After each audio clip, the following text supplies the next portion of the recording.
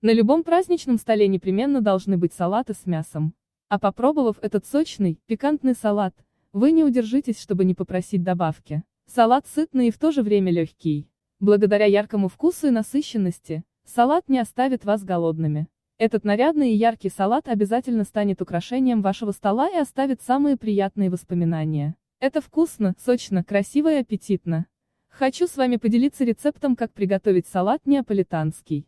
Говядина 300 грамм, отварная или запеченная. Ветчина 150 грамм. Сыр 100 грамм. Огурец 2 штуки, свежий.